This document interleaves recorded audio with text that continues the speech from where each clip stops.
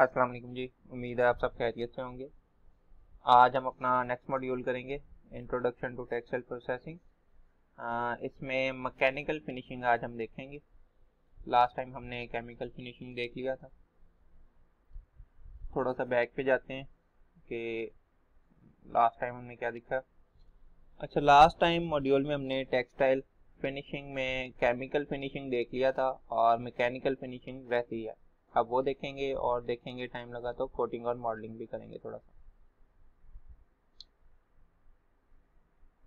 ये देखा था कि general steps in textile processing क्या होते हैं ग्रे फैब्रिक प्री ट्रीटमेंट होती है उसकी, उसके बाद ब्लीचिंग और प्री ट्रीटमेंट के बाद डाइंग एंड फिनिशिंग होती है और लास्ट में आपका डाइंग एंड प्रिंटिंग के बाद लास्ट में फिनिशिंग का प्रोसेस होता है। फिनिशिंग में दो टाइप्स थी केमिकल और मैकेनिकल फिनिशिंग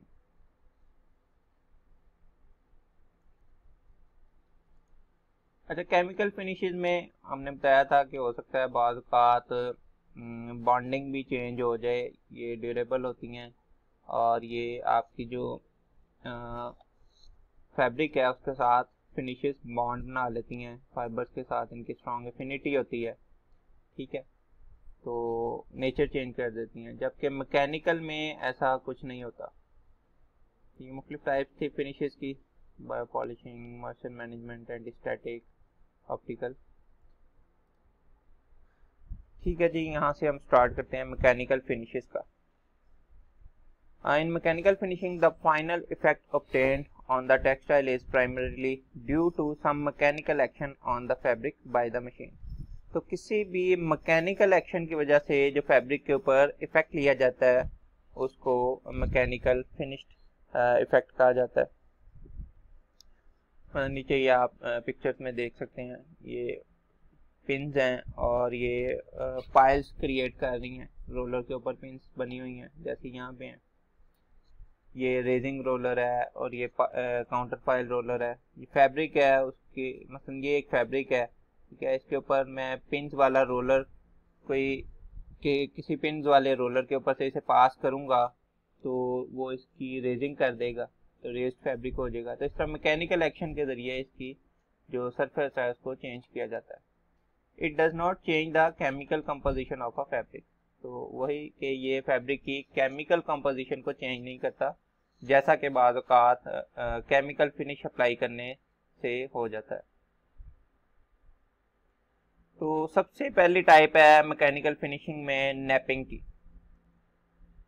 नैपिंग क्या होती है जी? Napping is a process of raising protruding fibres from the surface surface yarn of the fabric to form a raised pile अब एक फैब्रिक है, ठीक है?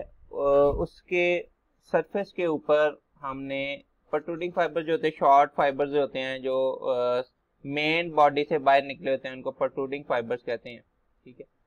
तो फैब्रिक की सरफेस से यार्स की बॉडी से रेजिंग करके उन फाइबर्स को हमने बाहर निकालना है। ठीक है? As a raised pile pile जैसे आपका टॉवल होता है टॉवल में जो लूप होती है, उसको पाइल कहते हैं। ठीक है? तो ऐसे ही हमने पाइल बनानी है छोटे छोटे यार्स को सरफेस से बाहर निकालना है और उनकी रेजिंग करनी है। The objective of raising protruding fibers at the fabric surface is to improve fabric's hand feel and ability to give warmth. अच्छा पायल बनानी क्यों है? इससे होगा क्या? मसलन पायल बनाने से ये बैकग्राउंड में भी जो पूरी इमेज लगी हुई है, ये भी एक आपकी नैप फैब्रिक की है, ये भी नैप फैब्रिक है।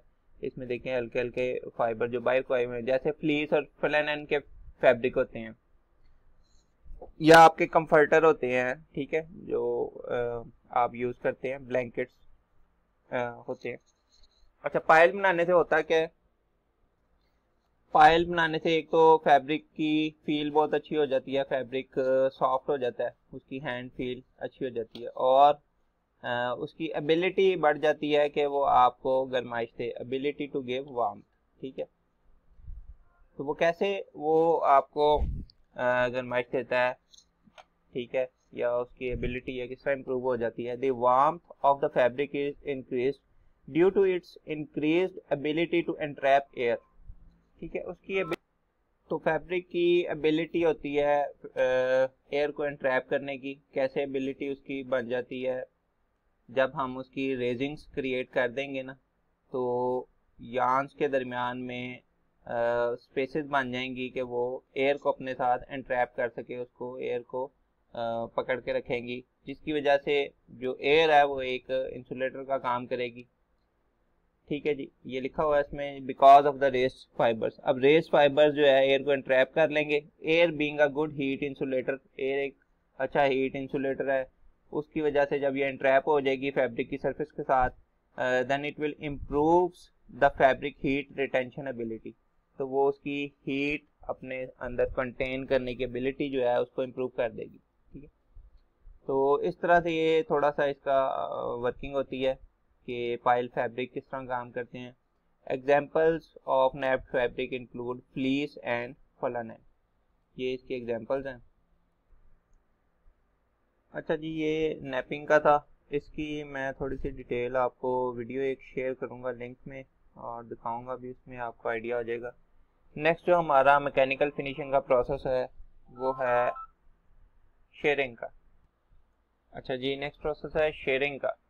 Shearing finishing the shearing process results in smoother fabric surface and improvement in the pilling resistance start यहाँ से। अच्छा इससे फैब्रिक की सरफेस स्मूथ बनती है और उसकी पिलिंग रेजिस्टेंस कम होती है। Shearing is a process process क्या होता है? Shearing is a process of removing fuzz और fibres protruding on a fabric surface अब फैब्रिक की सरफेस पे हमने प्रोट्रूडिंग फाइबर्स नैपिंग के ज़रिए, जो लास्ट प्रोसेस था नैपिंग का, इसके ज़रिए फैब्रिक की सरफेस पे ये प्रोट्रूडिंग फाइबर्स हमने क्रिएट कर दिए। इससे सॉफ्ट पील आ गई। शेयरिंग में क्या करेंगे? ये जो नैप्ड फाइबर हैं, इनको कट करना है एक यूनिफॉर्म हाइट पे। मसलन ये अगर आप देखें पिक्चर में, ये नैप्ड फाइबर है। ये जो है, ये नेप फाइबर है। इसको कट करेंगे एक यूनिफॉर्म हाइट पे तो एक जैसी हाइट हो जाएगी और सरफेस इवन हो जाएगी, ठीक है?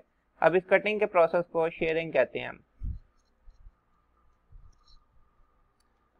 With uniform height of the pile of the raised fibre on the fabric shearing is usually done after the napping process अब इसको नैपिंग प्रोसेस के बाद किया जाता है। To cut the raised fibre ये जो रेस्ट फाइबर है, इनको कट करने के लिए for protruding for producing even pile height on the fabric surface ताकि फैब्रिक की सरफेस के ऊपर ये जो पाइल की हाइट है रेस्ट फाइबर को पाइल कहते हैं, उसकी जो हाइट है, वो एक जैसी हो जाए। Shearing may also be done for fabric which are not napped अब इनको शेयरिंग के प्रोसेस को उन फैब्रिक्स के लिए भी किया जा सकता है जिनकी नैपिंग नहीं की जाती, ठीक है? And the process may be used as an alternative to singeing हमने सिंजिंग का प्रोसेस पढ़ा था जिसमें गैस हीटिंग के ज़रिए या हॉट प्लेट के ज़रिए फैब्रिक की सरफेस पे जो प्रोट्रूडिंग फाइबर्स होते हैं, उनको जलाया जाता था। अगर वो प्रोसेस आपने नहीं करना और फैब्रिक की सरफेस को आपने क्लीन और स्मूथ बनाना है तो आप शेयरिंग का प्रोसेस भी कर सकते हैं। And bio polishing bio polishing भी पढ़ा था कि बायो पॉलिशिंग के ज़रिए भी हम प्रोटोडिंग फाइबर्स को रिमूव करते हैं। ये केमिकल फिनिश होती है बायो पॉलिशिंग अगर ये प्रोसेस आपने नहीं करने तो इनके अल्टरनेटिव के तौर पे आप शेयरिंग प्रोसेस कर सकते हैं for removing the protruding fibres from the fabric surface fabric की सरफेस से ये जो छोटे छोटे फाइबर्स होते हैं, उनको रिमूव करने के लिए शेयरिंग का प्रोसेस कर सकते हैं। ये भी बताया shearing process results in smooth fabric surface fabric की सरफेस बड़ी स्मूथ सी बन जाती है and improvement in the pilling resistance pilling resistance improve हो जाती है फैब्रिक के ऊपर बोर जल्दी नहीं आएगी। ठीक है? आपकी फ्लीस के जो खेस टाइप से होते हैं एक फ्लीस के मिलते हैं ठीक है? जो यूज़ करते हैं आप सर्दियों में भी या आ, समर में एसी के साथ यूज़ करते हैं। बड़े सॉफ्ट से होते हैं और बड़ी स्मूथ सरफेस होती है उनकी। वो आपको वार्म फीलिंग दे, देते हैं। इसी तरह फ्लीस फैब्रिक्स हैं और बहुत से फैब्रिक्स हैं। कर्टन्स भी आते हैं जिनकी नैपिंग और शेयरिंग हुई होती है ठीक है? नैपिंग के ज़रिए पाइल बनाई जाती है और शेयरिंग के ज़रिए जो एक्स्ट्रा पाइल है अनइवननेस है, उसको खत्म किया जाता है। एक तरह की सरफेस बना दी जाती है। Shearing is achieved by passing the fabric in close proximity to revolving spiral blades in contact with ledger plate तो ये एक रिवॉल्विंग स्पाइरल ब्लेड होता है और ये लेजर ब्लेड के साथ इन कांटेक्ट होता है। ठीक है? अब फैब्रिक को गुजारा जाता है तो ये दोनों एज अ सीजर काम करते हैं और ये लूप्स जो होती हैं उनको काटते जाते हैं।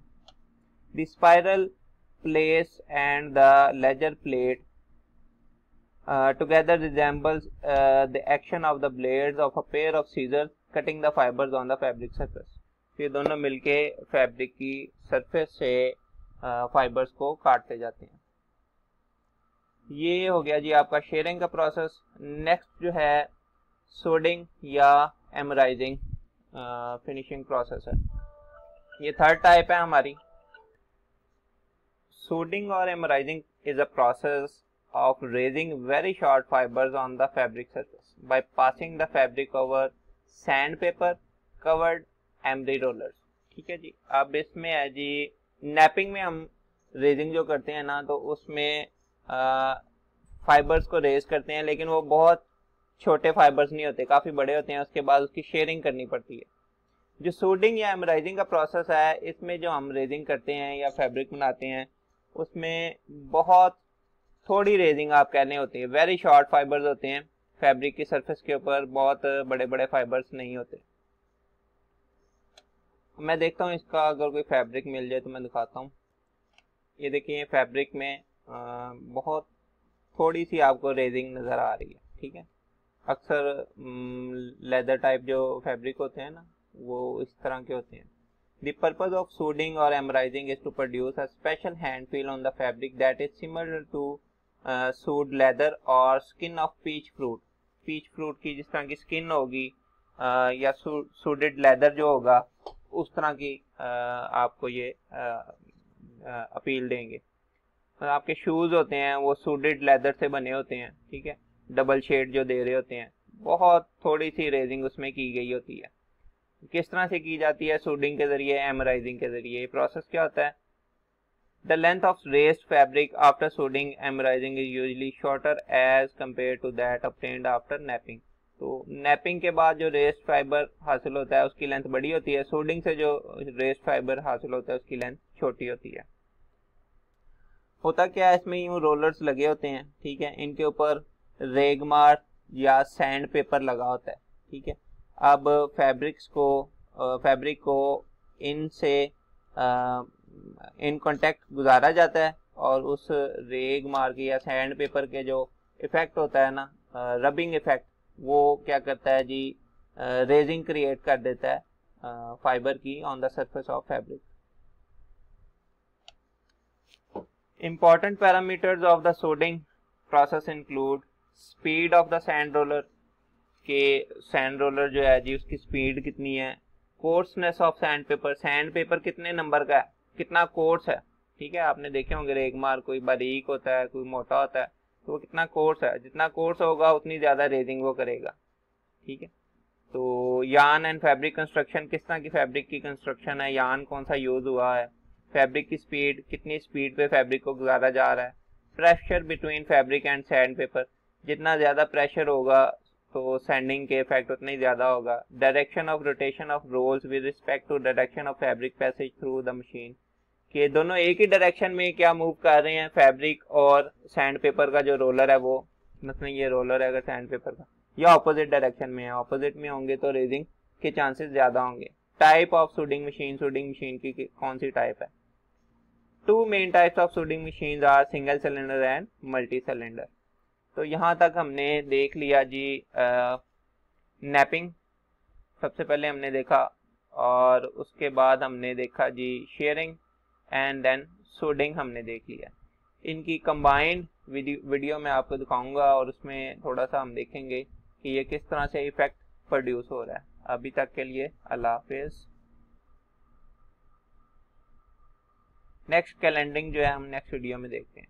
अल्लाह हाफिज़ जी।